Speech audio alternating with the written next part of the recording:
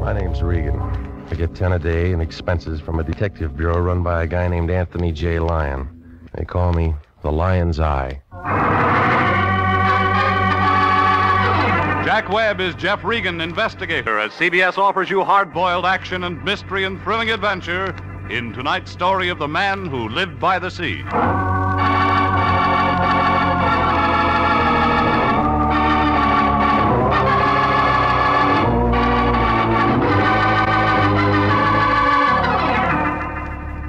The next time you're out for a drive, pick up Olive Street along about the 700 block. You can't miss it. It's a big building made out of white granite. The Cosmopolitan Building. Anthony J. Lyon, the guy I work for, rents an office there. International Detective Bureau, Suite 308. A couple of rooms with a connecting wastebasket. The Lion has the only desk in the office and the typewriter that Remington dropped from their catalog back in 1915. I walked in about 11 o'clock last Tuesday morning. The room was loaded with taboo. She was a tall girl with a flock of black hair and a mink coat. The kind you see driving a Nash convertible down Sunset Boulevard on warm Sunday afternoons. No wonder the lion's cigar was out. It was wet on both ends. He had one arm around her shoulders. He knew by this time that coat was the real article. There wasn't any music, but he didn't seem to mind. Come on in, Regan. Not much room to dance. We got business. She's your date. This is Mr. Regan, Miss Kara. How do you do, Mr. Regan? Mr. Lyon tells me you're just the man I want. Well, he said the same thing to a mortician last week. Miss Kara is associated with the famous psychic consultant Prince Nemo. I help the prince look into people's minds. Well, now, that ought to be fun if all your customers are under six. You don't believe in thought transference, Mr. Regan? Do you? Uh, Prince Nemo sent Miss Kara to retain an operator. Why didn't he come himself? Prince Nemo never appears in public. He misses some good ball games. He has television. Yeah. The prince prefers to spend his time in meditation and thought. I handle all of his outside contacts. Regan, I want you to drive out to Prince Nemo's home in Ocean Town with Miss Kara and speak to the prince. What kind of a retainer did he send you? We don't discuss finances in front of clients. Oh, this is another blind spot. You don't know what this guy wants. He said it's a very delicate matter and he wants to explain it to you himself. Oh, sure. She waltzed in here with a check, and you'd sell your grandmother to a glue factory for two bucks. Is there any way I can reassure you, Mr. Regan? Buy me a battleship. You got a license and a contract with International. You want to tell me about it, lady? Prince Nemo was very excited this morning. He called me in and told me to make the arrangements. It's not enough script. He never tells me anything. I just work for him. Will you please? Yeah, all right. Here's a nickel. Call me and tell me what's up. Suppose I can't. Then you got something for your piggy bank.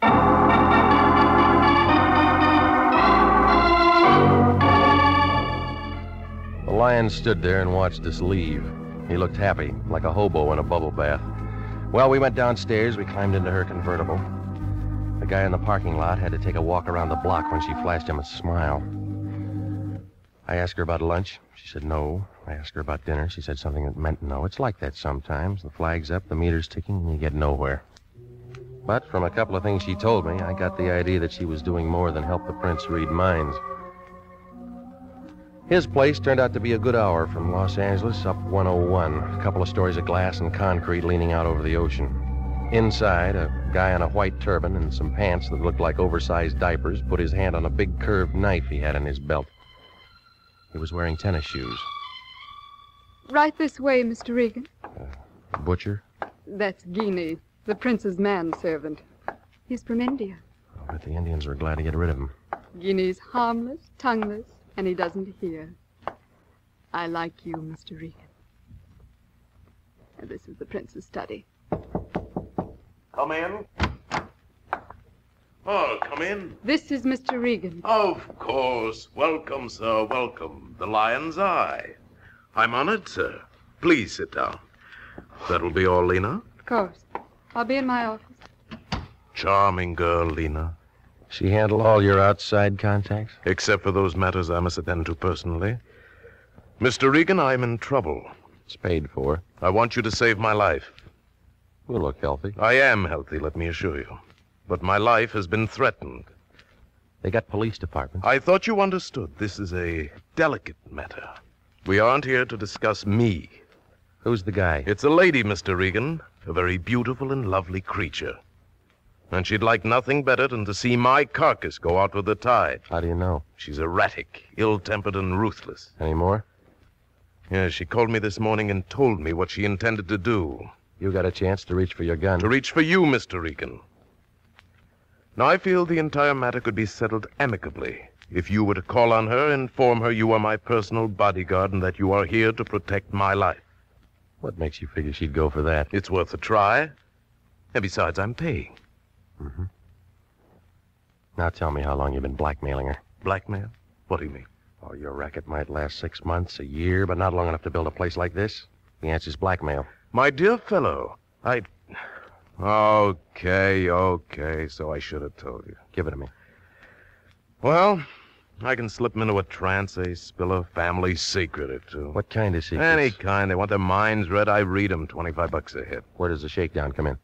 When I tell 'em what they told me, You been putting a squeeze on her? she's an actress. She was in on a deal at the studios. And she won't shake. She said she'd blow my head off. Look, I'm in a spot rig, and she's the kind who'd do it and make love to the jury. Give me a name. Doris Patrick. Ever heard of her? Where she live? Palisades. Here's her address. All right. You going over to talk to her now? Well, she isn't gunning for me. Oh, thanks a lot, Regan. You know, I've been sweating. It's real good for a cold. Yeah, I'll try and catch one. You guys yell real loud when they answer back. I'm just thinking of my future, Regan. I won't look good dead.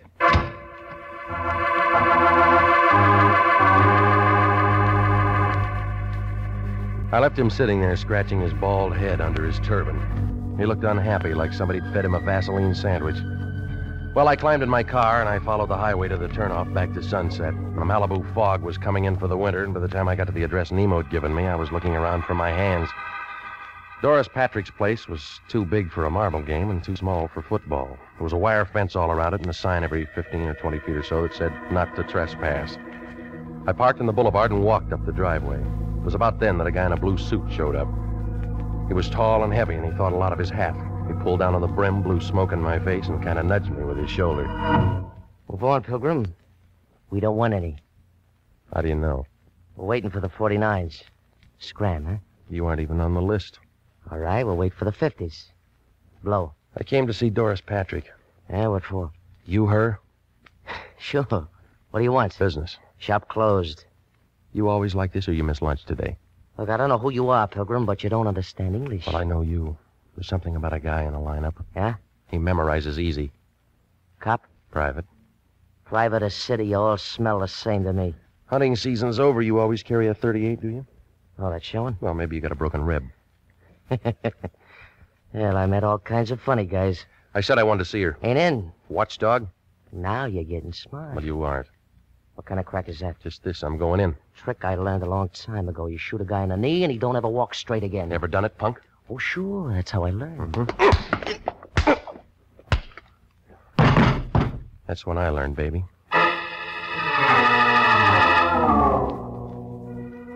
He slumped against the side of the wall, and he looked tired, like he'd been running from Compton. Well, I left him there, and I went up the driveway to the porch. Coming around a blind corner, I bumped into something that kind of relaxed and rolled into me. It was a blonde girl, about 25, in a white polo coat.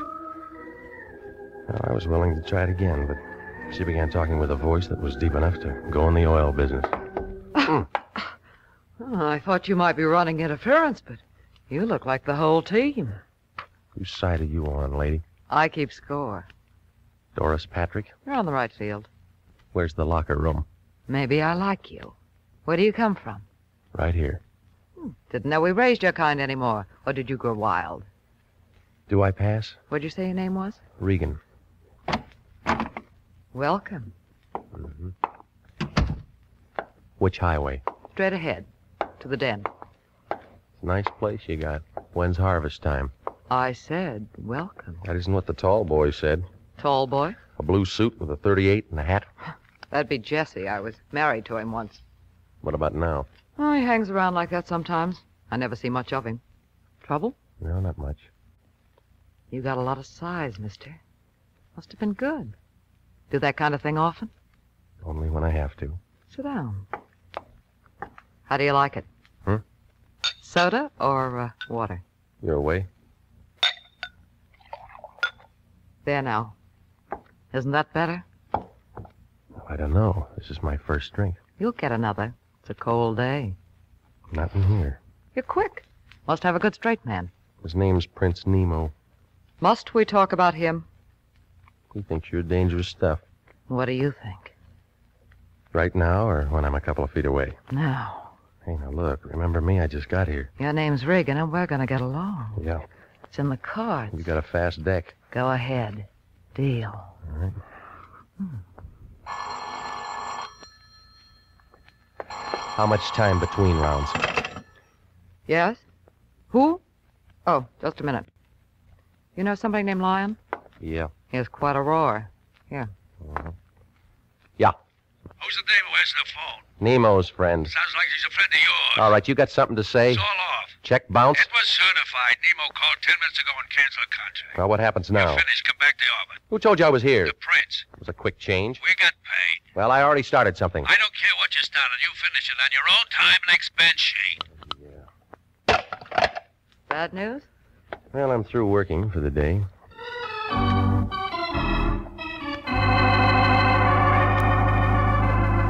Well, I was an old friend of the family when I left. She didn't want me to go, but I was thinking about Prince Nemo and uh, the way that nothing made sense. Oh, the whole thing looked phony, like an undertaker in a white derby.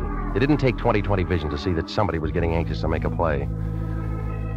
Well, by the time I got home, I figured I was out of it. But my company had other ideas. It was Jesse, and he had friends.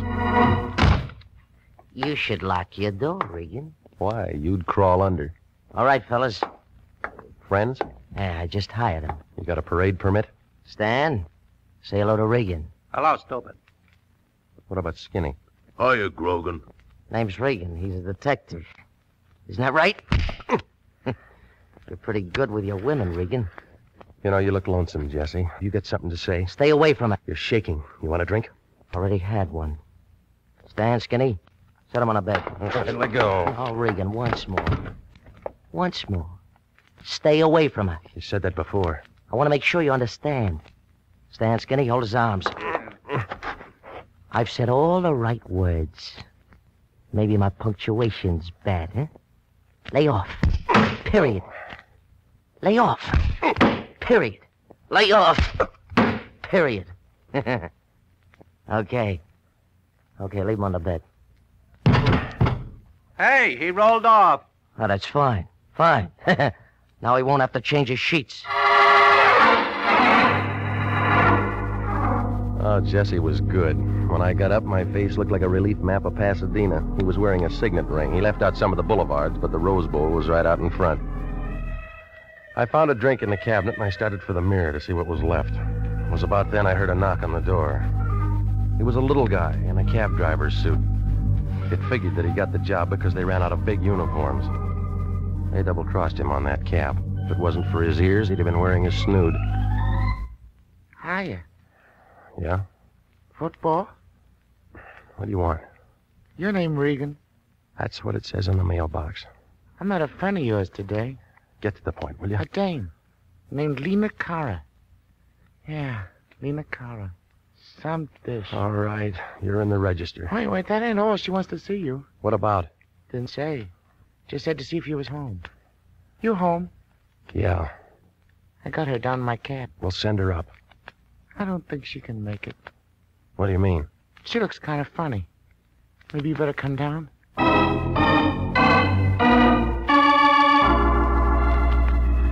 She was sitting on the edge of the seat, staring out at nothing. Her back was as stiff as a filing cabinet, and there was a little ring of white around her lips. I paid off the cabbie, and I took her back up to my place without a word. When we closed the door, she was sitting on my sofa the same way. Only this time she had a 25 automatic in her hand. Well? Well? Where'd you get the gun, lady? Gun. Oh, this? I bought it for thirty dollars. Can I see it? Oh, yes, Mr. Regan. I brought it so I could show it to you. Mm-hmm. I paid thirty dollars for it. Thirty dollars. Yeah. It's brand new, isn't it? Oh, yes, of course. Did you know Prince Nemo was my husband? Since when? Long time now. Not many people know that. Did you come here to tell me that? No. No, I came to tell you that you don't have to worry anymore About what? about what my husband hired you for. Well, I've already been called off. Oh. Oh, I didn't know that. Did you meet Doris Patrick? Yeah. Then it was about her. What do you want, lady? Nothing. Nothing at all. Just that we we we don't have to worry anymore, do we? Tell me about the gun. Doris is very pretty, don't you think? I've Seen her on the screen many times. I think she's quite pretty. Could hardly blame the prince at all. Could hardly. Why'd you bring the gun? I imagine the air would be cleaner there, don't you? What are you talking about? It's really very humane, they tell me. Come on, stop it. It's just like sitting down and never waking up. I read all about it. Just walk in and sit down. You don't try to hold your breath. Stop it, sis. Stop it. Now listen to me. What is it? What have you done? What are you trying to say? You don't try to hold your breath. You go right to sleep, don't you? You're trying to tell me that you killed him?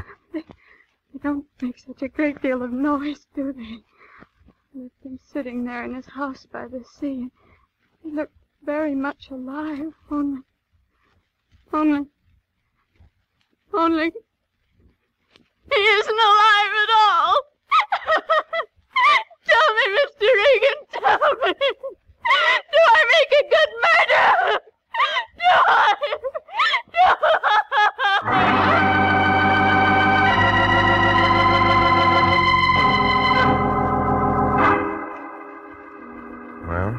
After she got through screaming, she settled down to a slow, even kind of giggle that started somewhere around her shoelaces and didn't get past her knees. Gave me a feeling like somebody was unwrapping an atomic bomb under a Christmas tree. Well, she wasn't going to do any more talking, so I went downstairs and brought back a doctor friend of mine named Sammy Wing. He had his little black bag with him, and he gave her a shot of something. She wilted like last night's orchid and went to sleep. Sammy wrote down a couple of things, and then he looked up at me. Some playmate. Wish I'd have been here for the party. How is she, Sam? You know her better than me. Oh, is she going to be all right? Hmm, In four or five hours, she'll wake up and want some water. And then what? She might ask you what happened, or it might start all over again. By the way, what was it? I don't know. She came over to see me. I should have visitors like this. I've been working too hard. She said she killed a guy who was a client of mine. Maybe I'm lucky at that. Why the past tense? The lion called me off the case. Official, huh? Yeah. You got nobody to protect. Where's the corpse? At a house in Ocean Town. Here. Call the police. And you and me can go out and do our Christmas shopping. Oh, she said she used this gun. A 25, it killed people. Now, Sammy, there's a bullet jammed in the chamber. James don't know how to reload. It hasn't been fired. Ballistics got better ways of telling. She's pretty and she's nice, and I'll bet she looks like a million bucks in a bathing suit. But if I'd have met her within the last three hours, I'd have run for help. Is that professional? Acute hysteria. The kind that pops off guns and people and does a lot of things they can't remember later on. Call Sanducci. Look, it doesn't figure she'd do it with this. Maybe she had another one. While you're at it, call the coroner. Tell him to go out there with some DOA forms. No, I'm going first. Corpse hunt? Just an idea. La Brucherie had an idea. Yeah. This dame's bipped somebody, and she's told you her story. Well, I don't like it. What do they do when a private eye messes up an open and shut murder case? Sammy, stay with her, will you? There's some bourbon out in the kitchen. Uh, maybe both of us will get our pictures in the papers. I left him sitting there. He looked sad, like a water buffalo caught in a drought. I pushed through the fog for about 40 minutes, and I pulled up in front of Nemo's place in Ocean Town about 9.30. It was dark enough to give a ghost the creeps. I used that ring of keys that I'd taken from her purse, and I went inside. It smelled dry and still, like somebody was waiting for the world to fall apart. I clicked on my flash, and I walked down the long hall to his office. Well, he was there, just like she said. There were three holes in the front of his shirt, close range, but it wasn't the laundry's fault. He'd been dead maybe two hours. The desk drawer showed some canceled checks made out to Doris Patrick. While I was thinking that over, I spotted a 38 Smith & Wesson on the floor by his hand. Lena had been carrying a 25. I broke it, and three cartridges fell out. From the looks of the holes in his chest, the 38 was the gun for the job. Well, that made her story and the 25 a fairy tale. While I was kneeling there, a light went on behind. A fat man wearing a sheriff's star was standing by the switch. A tall leather jacket with a flashlight in his hand was in front of me. I began to feel helpless, like a trombone player with a short arm. Scavenger hunt, son? You don't talk, Charlie. Ain't much for him to say, is there, Cap? Guess not. Well, son, You're going to be calling me names. what do you like best? Killer, murderer, slayer? Papers use slayer a lot. I don't like any of them. Kind of breezy for a hot boy, ain't you? Uh, you mind giving me a name? Regan. I'm with the International Detective Bureau. It's Regan, Cap. He's with the International Detective Bureau. Got a card or something, son? Yeah? Here. Oh. This guy here, a friend of yours? My client once. What'd you do for him? Okay, tell me this. Why'd you plug him? There's another story. Any good? Better than the one you got. You'll have a hard time selling it. It's a fix. Oh, why you want to say a thing like that? How long you been on the force? Easy, Regan. Me and Cap's being nice. Phone call a little while ago. Funny kind of voice. Said we'd find a stiff here. We didn't say we'd find you. Yeah, you're extra. The dame who worked for him told me. You tell homicide? No? That was a mistake. Where's this girl now? Name? Charlie, call a coroner. Ocean Town is just a small place. Only me and Charlie around. We borrow from the county when we get something like this. Well, I can find you a real answer in an hour. You got ideas? Lots of them. You can tell me all about 'em later. We got a corpse, we got a suspect. You know that's good. Even a weapon. I'll have an alibi when you check the time of death. We'll worry about that later on. All right, son, let's go. Well, I had about as much chance as an elephant in a tea room if those two locked me and booked me. I leaned back into his gun, spun around, knocked his wrist down. He pulled the trigger. But I'd already hit the light switch and he was making rockets in the dark. I left my car there and cut across the highway and doubled back up the hill. They spread out in the wrong direction.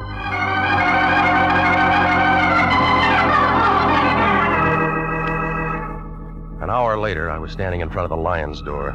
He was wrapped in a bathrobe big enough to keep all the silkworms working overtime. What do you want, Regan? Information. You've been drinking? I've been working. Adelina Karras here? You sent her She called me and said she wanted to hire you for something else. after Nemo canceled the contract. Yeah, why? You gave her my address. I thought you ought to talk to her. What she want? She told me that she killed the prince. She can't do that. We got a contract. Well, it's already been done. We're in a spot. Yeah, I figured that'd get through to you. They'll be asking me all kinds of questions. Well, why didn't you think of that before you signed? What are we going to do? You're going to find out where this 25 came from and if anybody fired it. Huh? She was carrying it when she came to me. I don't want to get involved. Well, you're in it up to your ears. I went out there and found the prince. Only a 38 might have done the job. Yeah? Well, that cleans her up. Not yet. The Ocean Town sheriff and a guy named Charlie are looking for me. What for? They think I know something. Do you? Not yet. There was a tip-off. Somebody was supposed to be a patsy. Where's Kara now? My place with Sammy Wing. I'm going to get a lawyer. It'll look good. All right, give me the keys to your car. Why? I got a date. Find out who fogged Nemo and we won the championship. You'll have to give the cup back. You cheated.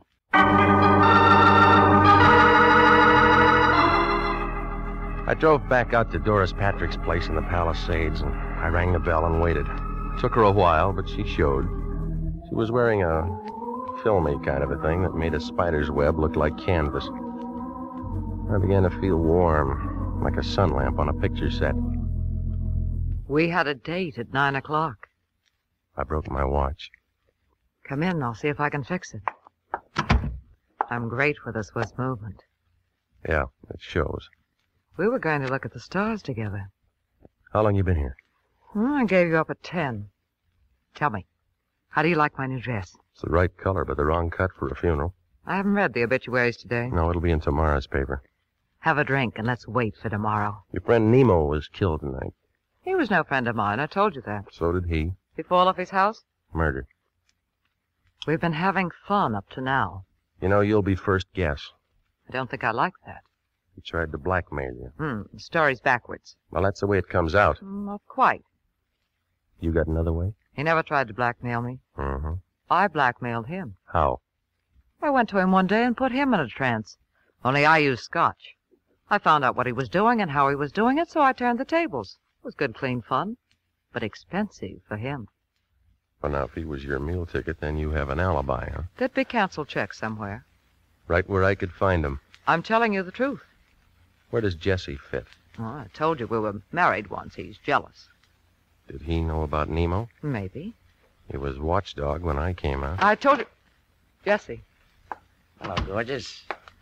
I still have a key. what do you want? You? Get out. You still tramping with his tramp? Just in time, Jesse. You know, you didn't listen good. I told you to lay off. Where's your friend? Paid off? I'm handling this alone. We've been finished for a long time. We're starting up again, Angel. Or didn't you know Nemo was dead? I saw your 38 tonight, Jesse. Ah, you're wrong. It's her 38. It's got her prints on it. What do you mean? I put him there. And you're gonna be tagged for his murder, Angel. you see, you're sorta in a spot. Regan. Easy, baby. This punk never did anything right. Huh? Tell me how wrong I've been. All right, that tip the Ocean Town cops was wrong. Killing Nemo was wrong. Ah, you twisted, Pilgrim. Cops got a warrant out for you right now. Yeah, I heard it on the car radio. Murder suspect. Plugging you is something they'll thank me for. With her prints on the gun? Well, how was I to know? I just see you and plug you. Everybody will be sorry, but it'll be manslaughter and suspended. It's pretty right, isn't it? Well, what about me? A friend of mine shoving off at Pedro tonight, Angel. Going all over the world. We'd be together. Well, Angel, do I plug him and meet you somewhere in two weeks, huh? Uh, all right. Move over, Regan. The lady's making up her mind. Now, where do you like? Oh, it was a real photo finish. Just as Jesse set the gun up against my head, Doris pulled a gun from the desk drawer and threw a couple of fast ones into him. Jesse tried for her. I'd call it a dead heat, but you'd have to give Doris the edge. Her first slug cut him down like a blade of grass, but she didn't give up. Angel! Angel, he's all used up. Never shot anyone before. You look like a professional. Give me the gun. I, uh, he deserved to die, didn't he? Didn't he? I don't know, lady. You knew him better.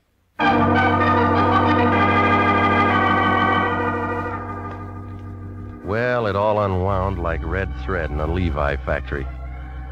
Nemo told me his phony story so he'd have a good self defense angle when he finally got around to killing Doris Patrick some afternoon. Jesse worked for him to keep me out, but I bounced him and got inside. When Jesse phoned Nemo about it, Nemo called the lion and had me jerked before we could compare notes. I guess Jesse went kind of crazy when he saw how well we got along. He got an idea and killed Nemo and made Doris a patsy with those fingerprints. Lena Cara? Well, she went kind of crazy, too. She found Nemo dead and got the idea she did it. It took three doctors a couple of days to tell her what really happened. And the lion was mad when he found out there wasn't any money in it. But then when he saw Doris Patrick's picture in the paper, he got kind of curious. He asked just one question. What did I do all that afternoon I was out in her house? Well, I didn't even bother to answer him.